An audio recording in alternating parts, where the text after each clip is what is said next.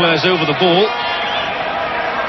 One disappointing aspect, perhaps, of this World Cup so far, we've not seen many goals from free kicks, but there we did. Expected very much to be one of the stars of this uh, competition, Enzo Francescoli, coming forward.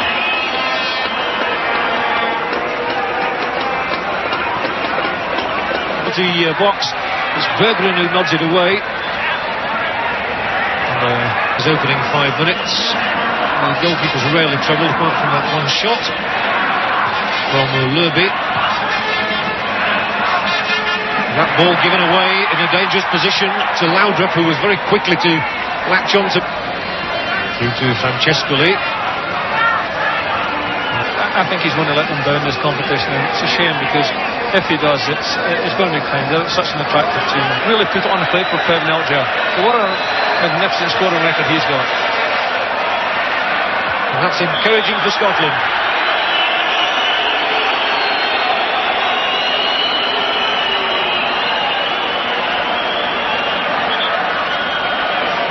There you see the scoreline. And uh, always invaluable to get an early goal in these World Cup matches. And the early one here has gone to Denmark.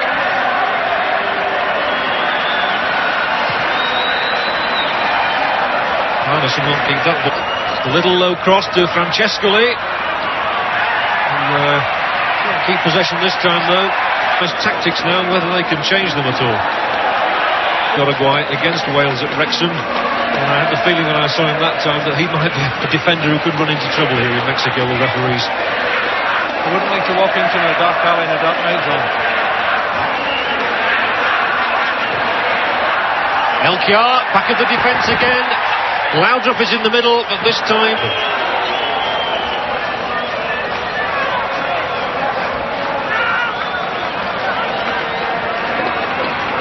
Berggreen leaving it for Frank Arnesen. And so much movement off the ball by the Danish players. Out on that uh, left-hand side, Morten Olsen has made a run. The Danish players are in that picture there. There are six of them. Now Lerby. He'll canter forward. And socks roll down. And Andersen.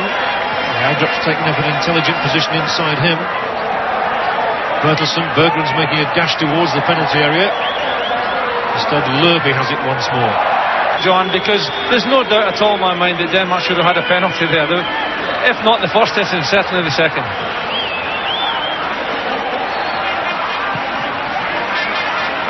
Recently, I must say that uh, I thought he was a very likely candidate for a red card out here. He took a player out and becomes the third player dismissed in this World Cup, following Sweeney of Canada, and sadly, of course, England's Arnesen chooses to play it square to Lerby.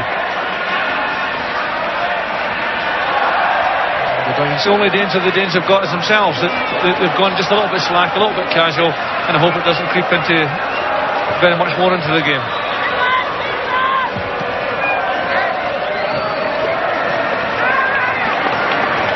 Up to 25 minutes gone as Berggreen, just outside the Uruguayan penalty area, finds Laudrup. Now out to Arnesen. This looks dangerous again. And Elkjær! This is Nielsen. Lerby.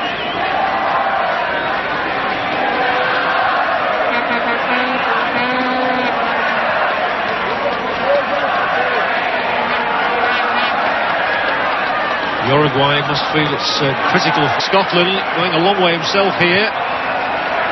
Now loud ball. I think it's the, the best football we've seen anywhere in, uh, in the competition so far.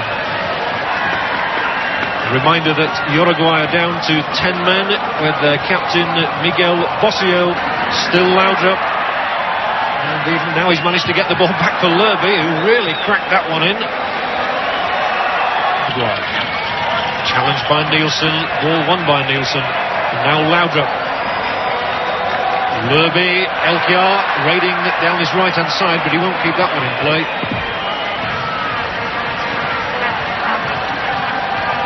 They are a goal down. It would be really disastrous for them if they were. They've lost out here, and there are several Danes coming forward as Lerby skips past the challenge of Acevedo, but then doesn't deliver a very good pass. Brenton, there's no sense in protesting to them. They should get, get on with the game. They're down to 10 men. If they don't behave themselves, they'll be down to less than that. Very much a Dane uh, of course, is Lugo, who plays his football in Brazil. We've not seen much of him so far, but I can tell you he's a very exciting player when he does get moving. From Madrid, John, and uh, he looks he looks a good player up front. He's confident on the ball. He's prepared to go through to Troels Rasmussen.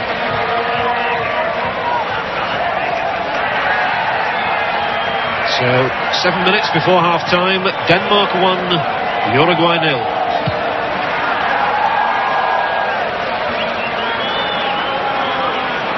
The edge soon.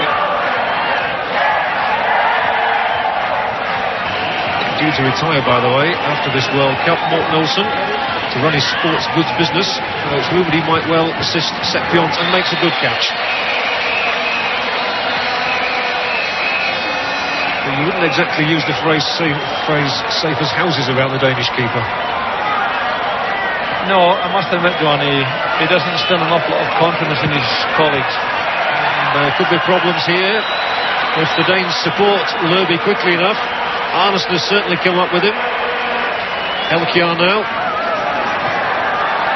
And he's going to get past Acevedo. Oh, the cross comes in! And it's 2 0.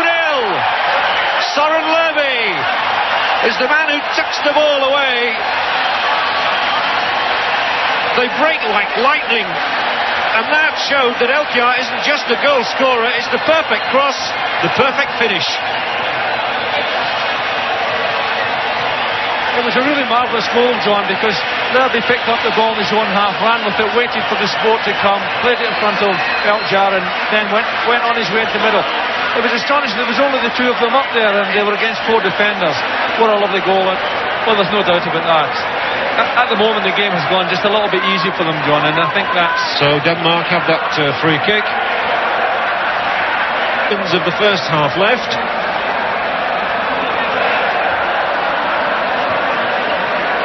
The Danish supporters swaying from side to side on the opposite side of the stream in the Uruguayan side because he's blonde, unlike he'd certainly like to have been a fly on the wall in the dressing rooms.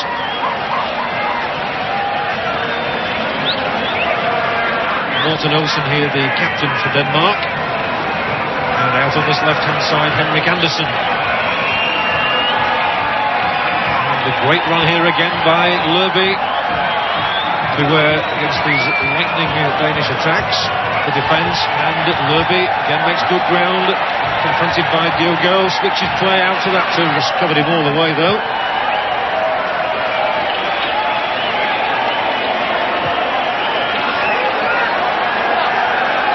Uruguay appearing here in their first World Cup finals since 1974. And have, of course, won the World Cup twice. So a good record. And my coach are going to go into the net. The overhead kick was by Diogo. But Rasmussen really looks hapless in that uh, Danish goal. We've got to now watch Laudrup. Is Laudrup against Saralegui? And uh, he's going to have to come all the way back. After all that, that was a very late whistle. The referee is still standing almost on Rasmussen's toes. Sturt. And the free kick on the line of Zamendi. The cross in. The Uruguayan defence a bit at sixes and sevens there. Lerby, nicely done again. So skillful these players. Here's Lerby, socks rolled down. Laudrup seems to ghost past defenders as though they don't exist. This is going to be one of the goals of the tournament tournament. You just wonder if he might just decide to bring another player on in his place. I can tell you that Uruguay are considering bringing a player on. Jose, look at the ball in the second half. Laudrup this time leaving it for Lerby. He's had a very good game, Soren Lerby. Laudrup once more. Extraordinary to that uh, Laudrup won't be 22 until next week and has already won 32 caps for his country. It's a walking pace action. The scoreline is Denmark 3, Uruguay 1. Coming up to 58 minutes gone.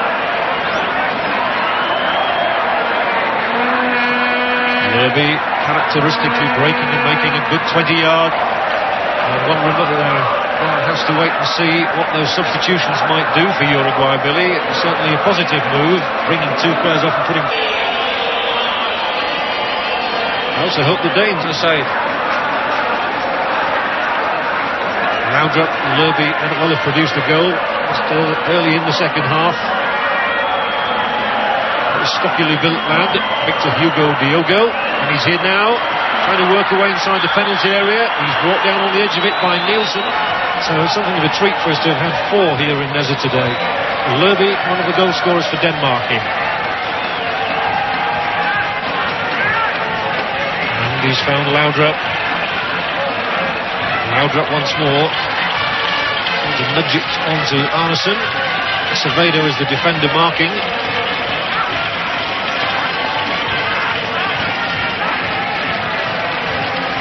Maybe couldn't find Laudrup. Uh, Devet. No. Morten Olsen so confident when he uh, sure you can imagine the Danish supporters are rather happy with it. It's a marvellous start for them here in Mexico. The songs have started. We are red, we are white, we are Danish dynamite. And I'm going to ask you, Billy, that, but uh, really it's marvellous to admire these Danes here, and they are really tearing forward here. Arnesen out on this left-hand side. Has received the pass, chipped it back into the middle for Uruguay one. Delightful football again, and Laudrup is making a charge down the middle. He'll be offside though. Lerby delivered the pass just a fraction too late. With interest. Morten Olsen now at the age of 36. Lerby scorer of the second goal.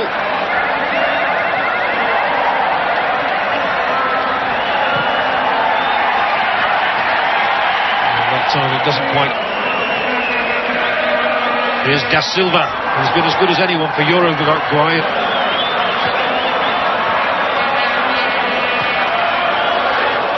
Did the double for Liverpool, as he was when he was with Ajax. Now here's Lerby. I've got past Berggreen there. Hasn't got much to aim at in the penalty area, but Ramos has done well here. And uh, the ball might just fall for... But it really has been a red and white tide. Eight minutes left. And uh, such is the Danish... I think they might well celebrate into the night here, as just about everybody seems to do in Mexico. I don't think anybody ever gets to bed before about 3 o'clock in the morning. And